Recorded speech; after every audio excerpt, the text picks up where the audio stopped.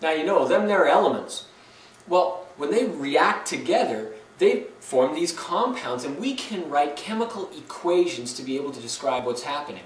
So equations are when we take chemicals that are reacting, that's called reactants, and they produce things that are called products. Right, we can write these chemicals down in formulas, write out chemical equations to be able to describe what's happening. So now in this question that I'm going to have on the board here, let's take some phosphorus and react it with chlorine. So it's two nonmetals coming together to form a molecule.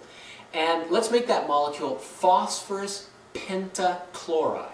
Okay, so start it off.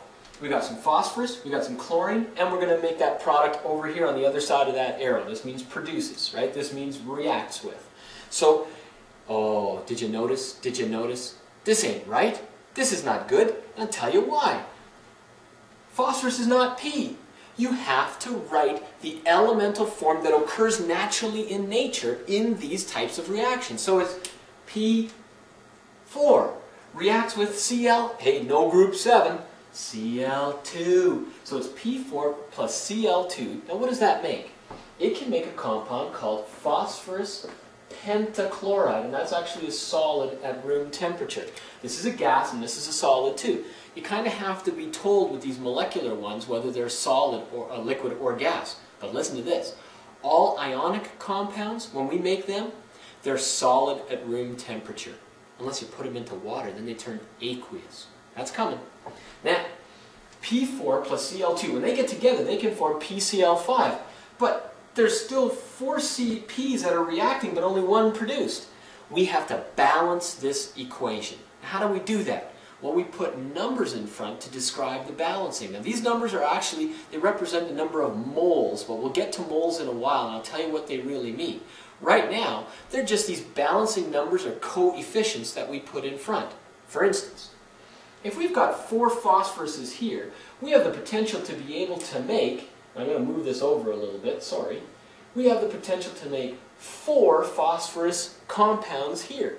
So P4 here, we need 4 over here. We don't put a 4 there, we put it in front as coefficient. So we can make 4 of these compounds. But look what this is saying. Two chlorines make how many here? Well, not 5, but 4 times 5, which is 20. Mm, that's not balanced. How do you balance it? Well, if there's 4 times 5, 20 chlorines here, what times 2 is going to be able to get us 20 chlorines on this side? It's pretty obvious, I hope, but the answer is 10. 10 times 2, that's 20 chlorines. Now look at the way this is balanced. 4 phosphorus here, 4 phosphorus here. 10 times 2 that's 10 chlorine molecules, is 20 chlorine atoms. 4 times 5 is 20 chlorine atoms. And this, 1, 10, and 4, we don't put the 1 there, that's the balanced equation for this reaction. Okay, and this one's called simple composition, because we're just taking elements and making a compound. Now let's do a decomposition. Take this compound, iron 3 oxide. Now why is it iron 3 oxide? There's only two irons here. Ah, What's the charge originally of Fe? It was a 3 positive and the O is 2 negative. So that's the iron with the 3 positive charge, iron 3 oxide. Iron 2 oxide would have what formula? FeO. Yeah.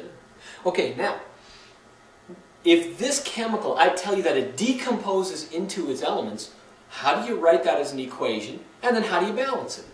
If Fe2O3 decomposes, we don't write Fe2 and then plus O3. No, no, no, no. We write down what the elements are in their natural states found out here. Iron is just Fe. And it's a solid because iron is a metal, isn't it? And then plus oxygen. But oxygen is O2, no group 7. It's diatomic. Now, that's iron 3 oxide decomposing into its two elements. Now we've got to balance the equation. Okay, watch this. There's two here. So we could put a 2 in front here. And that's totally legitimate too. Now, I'm not going to do that right now because I just end up erasing it. But you can do that if you want to. It's okay. You can erase stuff, you know. Three O's here and two O's here. What's the lowest common multiple of 3 and 2? 6. And so therefore, let's make 6 O's on each side. Does that make sense? Okay. So how do we make six O's here? Well, erase that and change it to a 6. No, we can't do that. So what do you do? You put a 2 in front. Yeah, 2 times 3 is 6 oxygens. So how do you make this 6? Well, we just take a 6. No! Put a 3 in front. 3 times 2 is 6. 2 times 3 is 6. You see, now that's balanced for the oxygens, not the irons though. 2 times 2 is 4. What do you do? Put the 4 in front. 2, 4, 3, the lowest ratio for balancing here. We always try to get the lowest whole number ratio for our balancing. And that, you can see, 2, 4, 3, lowest whole number ratio present.